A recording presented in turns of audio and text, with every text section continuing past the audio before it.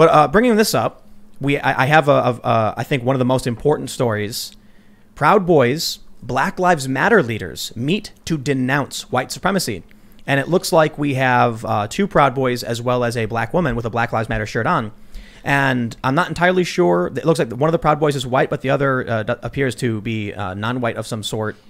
I, I, really hate that they've racialized everything. I hate that I have to, to bring it up. I have to talk about it. It really is frustrating and annoying and absurd. But I think it's important to point this story out. This is from 17 News, mystateline.com. They say Salt Lake City, leaders of a local chapter of both Proud Boys and Black Lives Matter met to denounce white supremacy last week after they were mentioned at the first presidential, presidential debate. The Proud Boys said their safety is threatened when people believe they are white supremacists. Quote, I will go out and say that the Proud Boys as a whole I will say this on behalf of the entire national organization. Denounce white supremacy.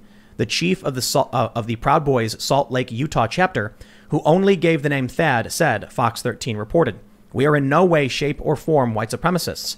We have a vetting system that gets those people out of our hair. We do not have anything to do with white supremacy. We do not have anything to do with the Ku Klux Klan. We denounce those organizations." Then we have uh, a, a, uh, uh, another quote from they, uh, Proud Boys met with Jakari Kelly, the leader of Black Lives Matter Northern Utah, which is not affiliated with Black Lives Matter Utah, saying, I had no idea who the Proud Boys were. I heard the words Proud Boys mentioned throughout the activist community, and I just didn't know who they were. And then I started to hear they were white supremacists. Kelly met with Thad and Proud Boys chapter president Seth to discuss myths about both groups. We came to realize we had more in common than not. In order to combat evil and racism and hatred in this country, we do need to be able to reach across the aisle and have these tough conversations that everybody is scared to have. Kelly said the Proud Boys she met are not white supremacists and said they were proud American men who needed a little bit of respect and education in order to bridge the gaps. I don't care what color your skin is, we're all Americans, and we need to find a way to come together instead of divide, said Seth. Thad, however, singled out Antifa, which Biden called an idea and not an organization at the debate, saying they are a problem they are not a, they are not an idea. They are very much an organization. They are in terrorist cells. That's why they say they are not an organization. They function autonomously in cells, much like terrorists.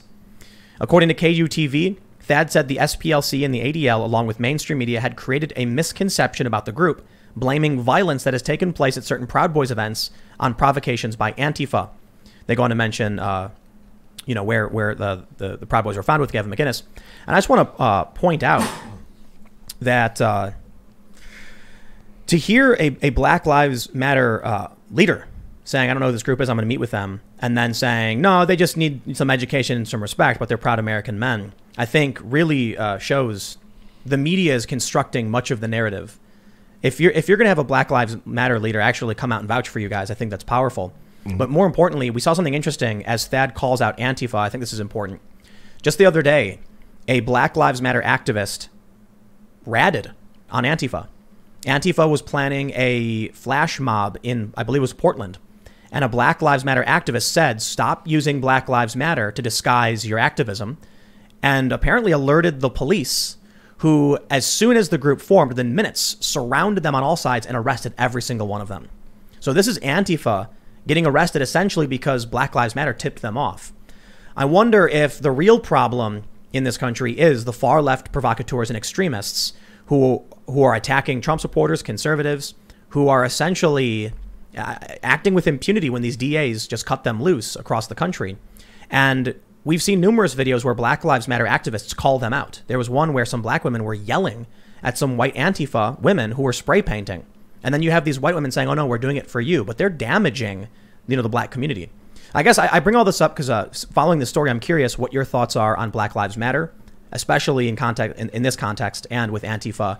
There's some overlap between the riots with Black Lives Matter and, and Antifa as well.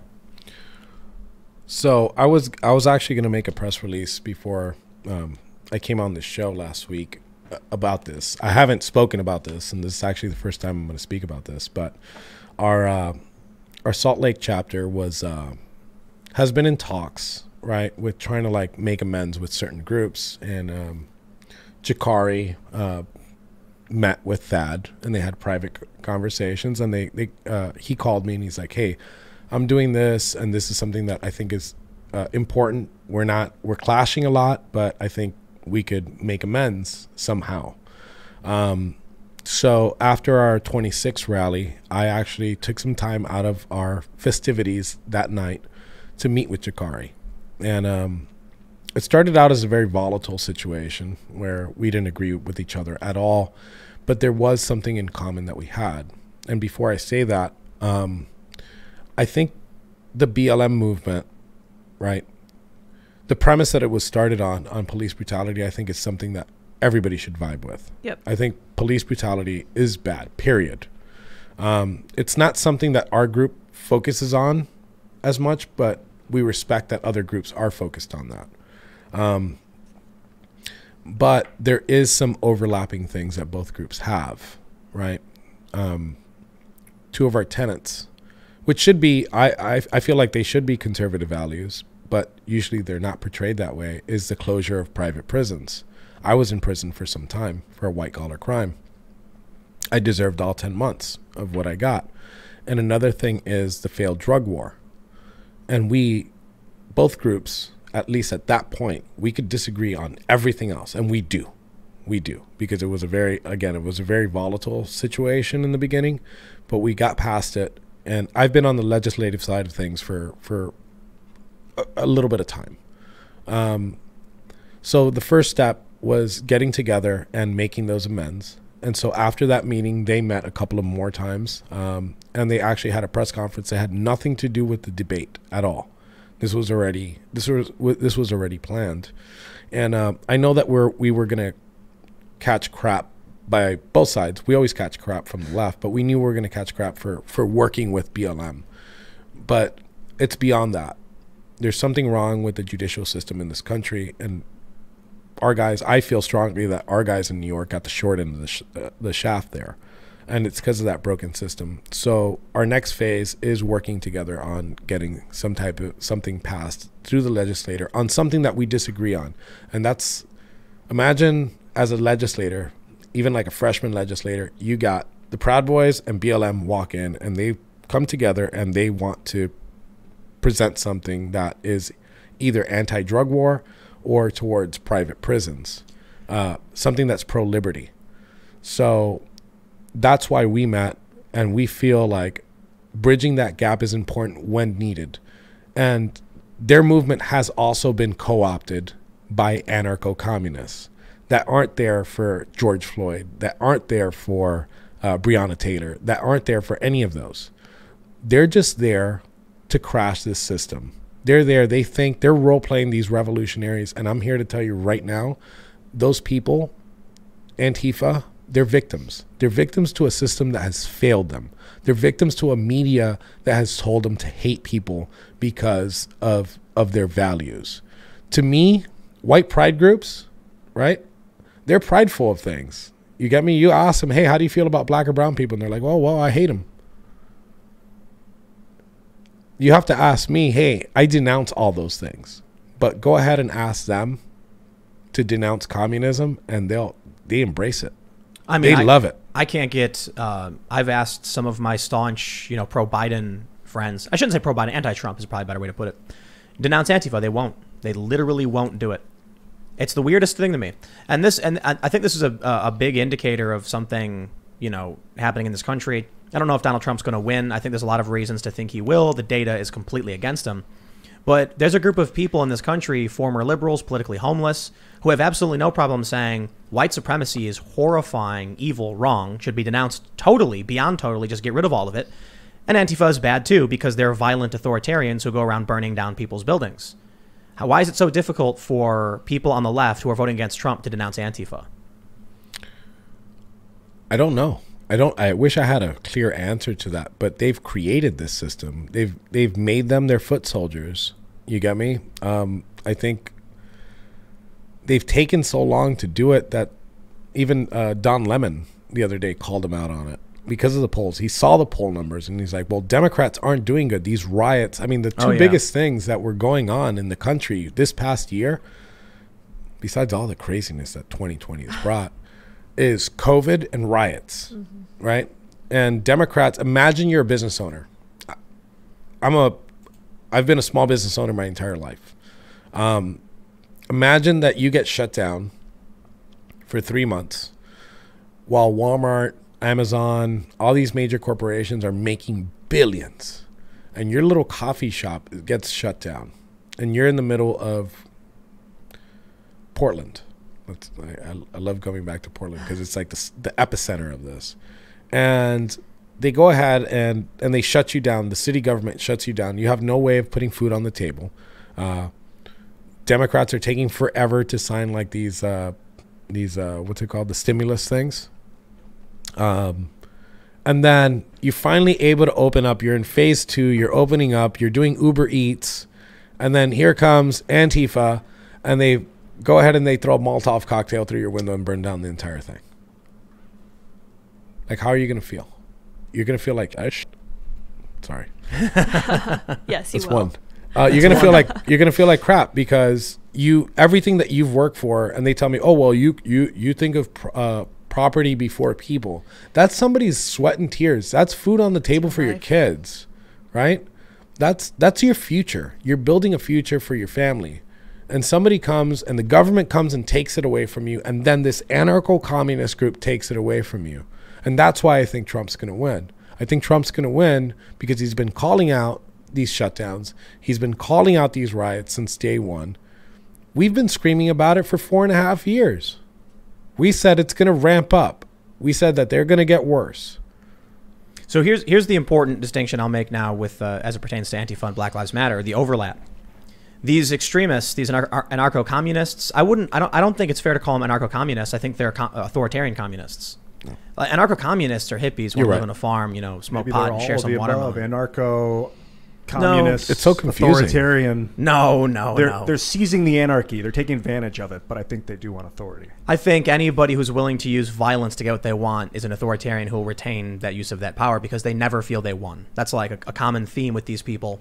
They're like, if only I can just win, then I'll make everything right. They use violence, they win, and they say, well, it's, we're not done with the mission yet. We've got to, and so they do these things. But one thing I've said often is that I don't like calling the rioters Antifa because they're flying Black Lives Matter flags. Now you've mentioned they've co-opted it. Yes. But then they do attract a lot of people who are not communists, who are just racial justice activists, who fly the flag of Black Lives Matter for Black Lives Matter, but they've been radicalized or brought in by, you know, revolutionary communist types. So confusing. Yeah, definitely. So confusing. The uh, the Black Lives Matter and Antifa kind of just escalated together with COVID, the COVID thing, and then everybody started losing their jobs, and people st- went out on the street. First thing they did was like loot buildings and to take things that they couldn't afford, That's not that's well, not or true. things that they have always wanted, like people walking out with shoe boxes of shoes. There were there was like one video of someone carrying one shoe. Yeah, it's not about it was wanting. looting. Well, it was looting. It was about Well, coming up, making well- money. Yeah, well, they did it in Miami. They hit like the like the highest like mall that they had there, and they like pulled out like a whole bunch of like Gucci bags and Jordans and and I don't know how that honors like you're out there for George Floyd and racial justice. I mean, how how does that even begin to honor the system? And as a matter of fact, they're making it worse. The defund the police thing, they're making it worse. It's like they're training them to to to quell protests. Like they're they're basically they're giving them free training to do this. And just imagine now here's here's another thing you could imagine. So imagine you're a Portland police officer, you're sitting there with like a hundred pounds of gear on you, right? You got no days off. Like today's a riot, so you can't take the day off, and your buddies are lined up, and these people, are, this this green haired whale is like screaming at you, right? And uh, some other dudes like throwing water at you and pointing lasers in your eyes, and then your buddy next to you, he gets hit with a Molotov cocktail, which almost happened. Gets hit with a Molotov cocktail. You got to turn off your buddy. The night shifts over. These the the riots have have quelled. I don't know where they go. Um, they probably go under the bridge or something. But these riots have quelled, and then you you're in the locker room, right? You're in the locker room at the police station, and you're taking off all this gear, and your buddy's there. He's burnt all over the place. And what do you think that they just created? They created probably the strongest brotherhood that you could imagine. Like these two guys right here that stood next to each other, like they're gonna they're gonna ride together You know what right? And they they're creating this this system that's already there. They're creating this system that's going to be really volatile if it continues to progress. They're not defunding the police. They're arming them. They're th- Absolutely. That that connection is even worse than militarizing police. Well, I think they're uh, arming them is the is the correct way to phrase it. I've warned about this. So long as the far left keeps going out smashing windows with impunity, Amer- the American people are going to keep asking for more law and order, more powers for the police, more powers for the federal government, and we're trying to get to a point where we have you know officer friendly back. We don't want we don't want I don't want cops to feel like they're going to get shot. I don't want them to feel like they need an armored vehicle, but it's gotten to that point because the far left escalates, goes crazy. And so I had, I had an interesting conversation actually on this show with some of the super chats saying, you know, how would you envision demilitarization? What does that mean? What what weapons do they use are militarized? And I think the issue is just this. Uh, you know, as I said, you've got these officers. They wear this full-on tactical armor. Often, they're you know it's, it's camo gear, so it looks like they're in the army. They've got rifles, or it looks like they're in some kind of combat situation. They have armored vehicles they ride around on, and it doesn't look like officer-friendly. And the response I got was, if Antifa is shooting people, if they're throwing Molotovs, if they're throwing bricks, and riders are doing this, don't the officers need to protect themselves? And the answer is yes. So then there, it seems like there is no real reasonable way to you know demilitarize as many left wing activists say. I still think that we can. Uh, I think we need more funding for police. I think defund is the wrong thing. I think if they want social workers and they want better trained community policing, they need more money. The cops need better pay. The cops need better training. The cops need to feel valued, and what they're doing is the opposite of that. So they're making angry cops. They're they're making cops demand more protective gear and more more uh, weapons, more They're making techniques. it a team sport. But more importantly, they're ma- uh, it's it's not you, you tell the story of these two cops. You know, they come in the locker room, they're taking their gear off, and then the one guy says to the other, "I'm like, I saw that woman scream in your face, dude." And he's like, "I know," and then they they kind of chuckle. It's all over. Then they go home to their wives and their kids, and he sits down on the couch and he's like, "Ugh, "What happened at work?" Some lady screaming on my face. These Antifa people are crazy. The wife gets angry and she's like, "I can't believe they would do this to you." The kids hear it. The kids get mad. They tell their friends. Antifa is spreading hate. You know, these cops are people. They have families. They have friends. They go to the bar. They talk. People hear these things. People care about them. Antifa showing up and doing everything you said, spitting on them, splashing them, being nasty, being awful. It's spreading hatred. Now, I understand there are some bad cops and there's police brutality. And these, we have laws for that. They go to jail. I do believe that we've got police culture problems because I've personally experienced an officer lying under oath to try and convict, falsely convict somebody. Hopefully, uh, uh, um, thankfully, I had footage proving the cop lied. There was no, there was no penalty for the cop who lied. So I'm, I, I think we need reforms. I think we need to make sure we get justice when police commit crimes like perjury or literal crimes, murder or otherwise. And I think cops need to be better funded, better trained, and we need. I, I like the idea of some kind of social worker that the, the the you know the defund the police people have brought up, but they're going in the wrong direction with it. They're saying defund the police, take that money and hire social workers, and I'm like, but then you have, you know, a vulnerability that social, social worker can't handle every situation a cop can. Keep the same amount of cops. Send a social worker with them for certain situations, and that social worker can deal with cer- certain issues because we, we have seen positive results. But taking money away from the police just makes everything more tense, more dangerous, increases anxiety. You end up in New York where you've got a billion dollars slashed off the NYPD budget, murder skyrocketing, shootings, lethal crime. Yep.